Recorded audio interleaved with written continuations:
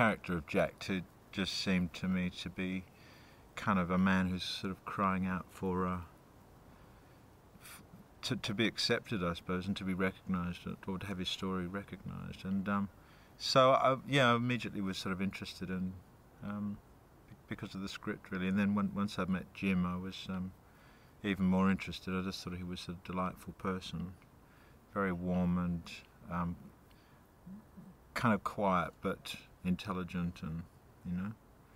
Um, yeah, and, and, sort of very excited about the idea of working with Emily. And I also knew that um, David Wenham was involved as well, so it was the the whole sort of package seemed really interesting to me.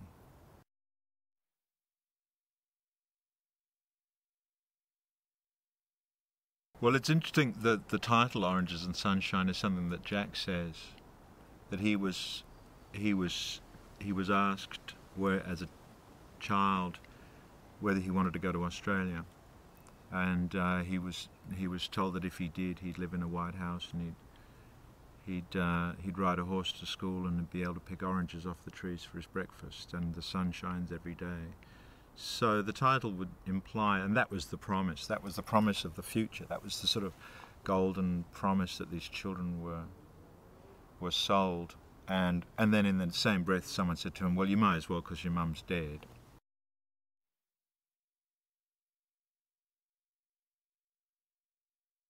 The man I met, uh, um, his story is slightly different from the character in the script, but but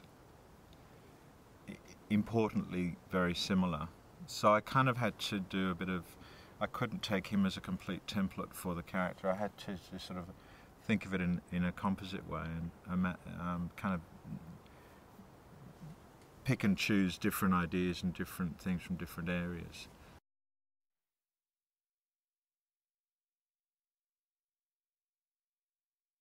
Everyone's story in this is full of emotion or full of unexpressed emotion. Everyone's story is really awful. You know, they've all got terrible stories. And uh, and yet, as an actor, and a lot of people are coming on just for one or two days, and so it's actually in one way you look at it on paper, you think, well, that's a really big scene. It's a, like there's a lot of stuff in there emotionally. There's a big story in there. You've got to kind of understand that life and somehow bring it into that one, you know, day or one scene which might only last half a minute. And say, but you can over, you can overemphasize, you can, you can.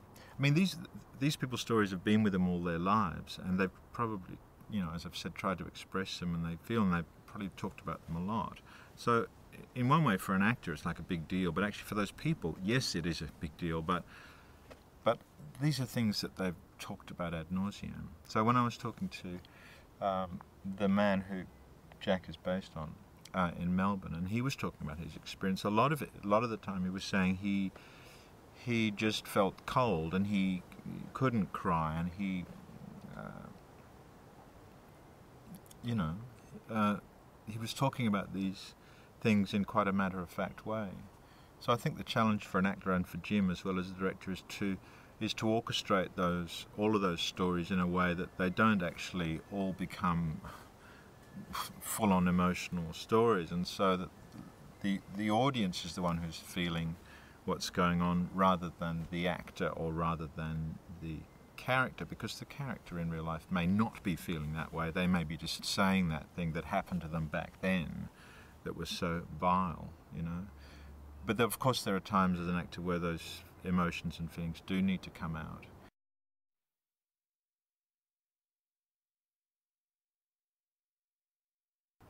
Jim's been just really beautiful. He's just a lovely, um, calm, methodical, um, sweet man. And um, uh, Emily and I were talking about how calm and relaxed the set was and how easy it seemed to be in the crew's, nice and small. And um, we were saying how wonderful it was that we sometimes didn't know whether it was a take or a rehearsal.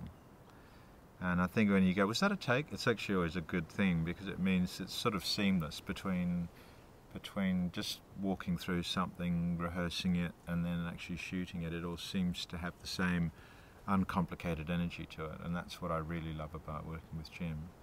And he's obviously intelligent and knows what he's what he wants and what he's doing. He has a great empathy for the characters. He wants to tell this story. He's been working on it for many many years, and he's just a lovely man. So it's been delightful.